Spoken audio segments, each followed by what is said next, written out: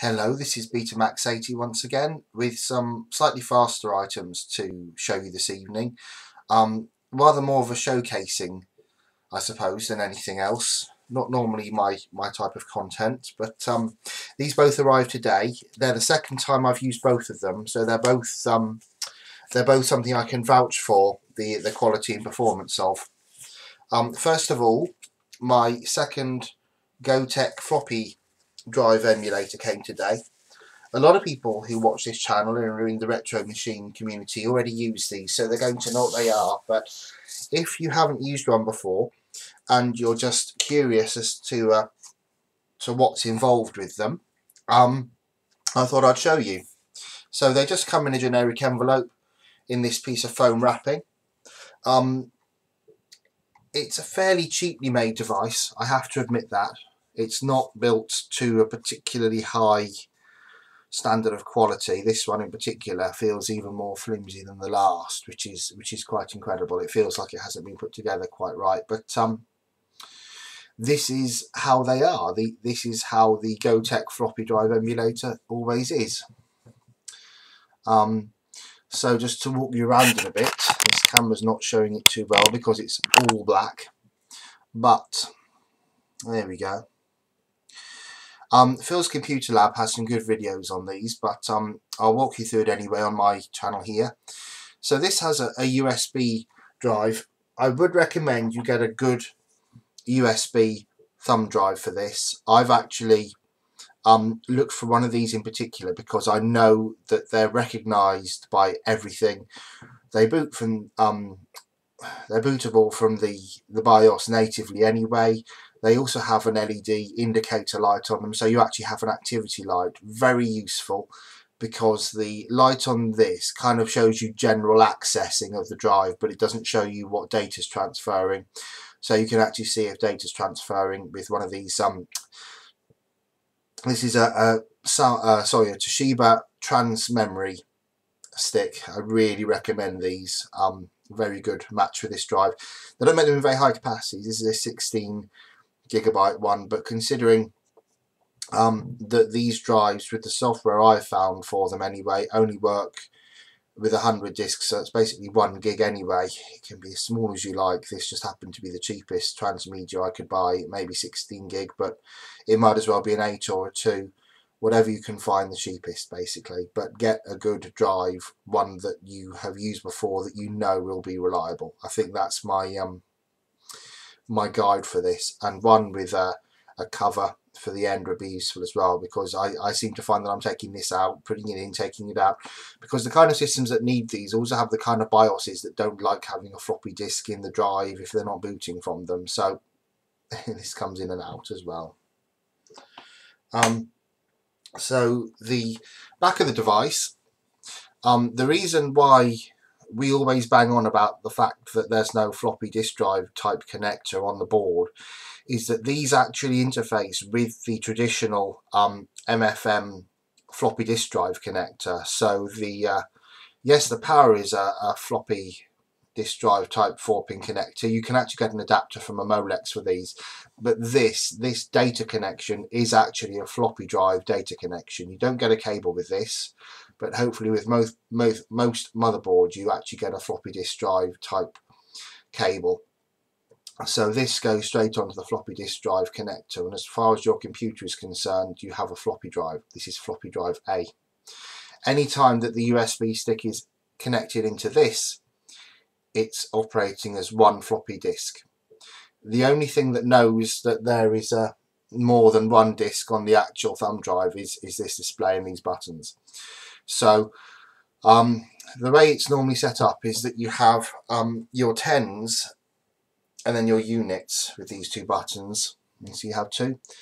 So it goes up 0, 10, 20, 30, 40, 50, 60, 70, 80, 90 and then you go to the other button to go 0, 1, 2, 3, 4, 5, 6, 7, 8, 9. So it goes from 0, 0 to 99. So you have 100 by default. I, I, believe Phil's Computer Lab showed the way that you can format this to full 1000 disk capacity, but I haven't reached that kind of need yet. I've got maybe 30 images on this. It's very handy, but Yeah, probably probably 50 images is realistically all, all you probably need unless you actually have loads of these systems and you need specific boot disks. That's possible. Um, so it's a very simple device otherwise. This, this display looks really cool by the way. It's a green LED, very funky looking on your computer. It's like you've got a turbo button all over again. But this really displays what floppy disk drive number your computer thinks is in the drive. So this this is um, putting a floppy disk in the drive and then this is selecting which floppy disk image the OS is using. So when you write one of these, you don't, what I couldn't be sure about before I bought my first one is you don't actually need one of these to write the disk images. You just insert the memory stick into your normal USB drive, so your, your normal USB connection on your more modern computer, I suppose. Um, and then you use a special piece of software. Um, Phil's Computer Lab details this more, but look for um, IPCAS. This CD, by the way, this this that you get with it, the, the it's absolute garbage. Absolute garbage. You may as well toss this over your shoulder.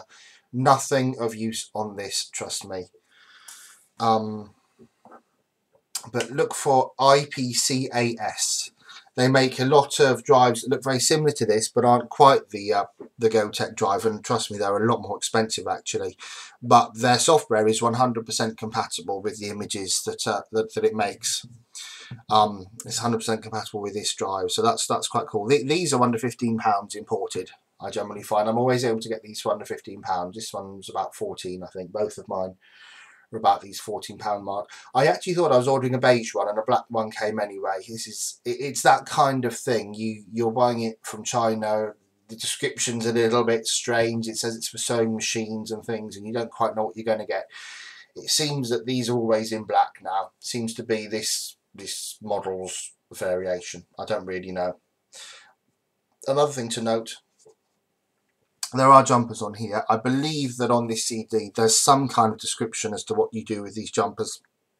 But the uh, the main um, be all and end all of it is that if you're using it to connect it to a PC, your PC can support a 1.44 megabyte drive.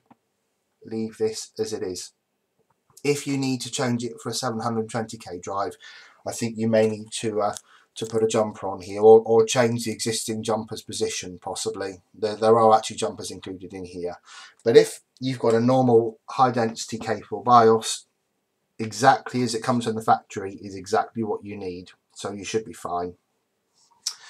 Um, so yes, you're writing with the software. It writes all the images. Um, another thing that isn't really mentioned very easily is that you will need to get some sort of disk imaging software. The disk images are the sort of things that you download from the internet. They normally end in a .img or similar format, but you really need a piece of software um, known as WinImage. Um, it's shareware, so you should be registering it after, I think it's 30 days. Um, but that's really the, the go-to software for, for disk emulation images on this.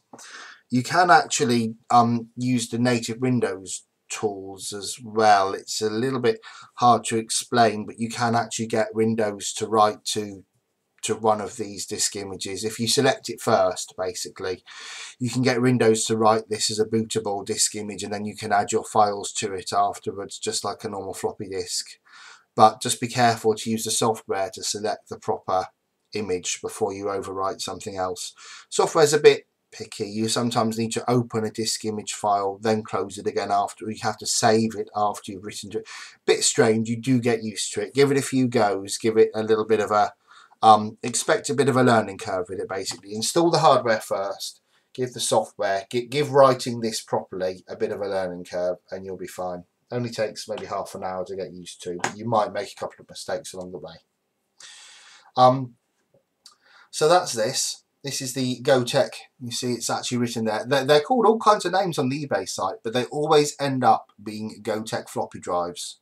Always end up being the same thing, a Gotek floppy drive emulator. I actually put um, a little label in the in some of the spare black space on here. I actually put FDD just to remind myself that it's not a regular USB slot. It, it cannot operate as a normal USB slot. It operates only as a floppy disk drive because of the connectors on the back. So um, I actually do write on there just to remind myself so that I'm not wondering all the time. This is just me wondering all the time why um, I can't read from it like a normal USB drive. Comes with these as well. It's the only other thing it comes with. No written manual. There's a manual on the CD. You don't really need it. But it does have some mounting screws. I do recommend you use these mounting screws because the um, the plastic's quite brittle on this. So I recommend that you use theirs that are the right uh, right diameter rather than trying to um, force some larger ones in and breaking the drive. So the mounting screws, yes, I recommend you use the ones that they give you. Okay, so that's the Gotek floppy disk drive.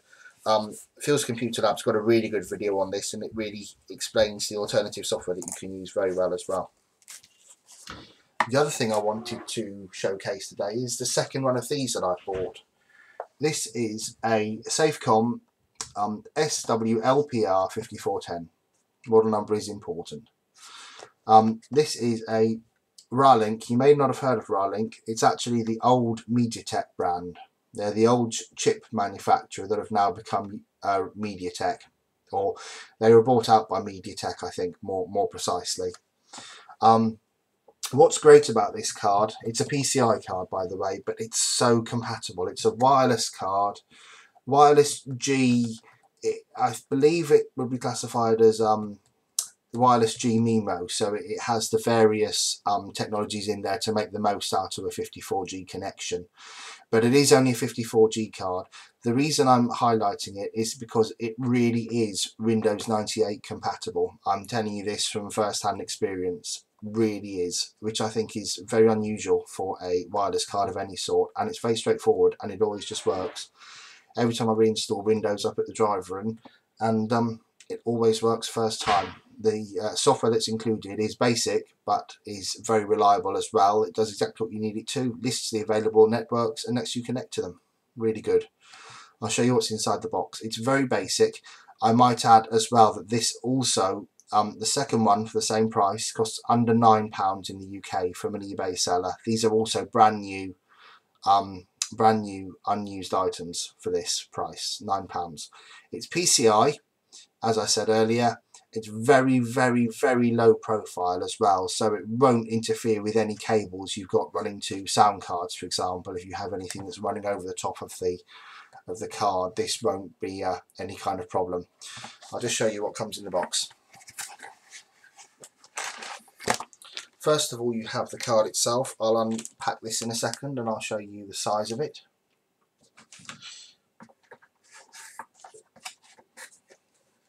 Comes with a wireless antenna, a single detachable antenna, reasonable. Certainly seems uh, effective as it needs to be. This CD, as with all of these things, I really don't recommend the drivers included on this CD. It does have drivers for, um, I think it claims everything, but I've actually um, downloaded much later drivers from the Realtek website, sorry, from the Ralink website, and they seem an awful lot more reliable. The ones on the CD seem to be quite early drivers, and they don't seem to be all that stable. Um, I'm glad that I did my research and found the later drivers because it's an absolutely flawless card using uh, the later drivers. The only quirk about the Windows ones at least is that you do actually need to run the installer. You can't just use Device Manager to install the card. Um, partly because they're an annoying executable that you can't unzip, but partly because um, in Windows 98, Windows 2000, Windows Millennium Edition especially, there is no wireless connection wizard, so you need the software that's on the uh, that's contained in the executable file. So there's no harm really in, in using that. Now this is the card.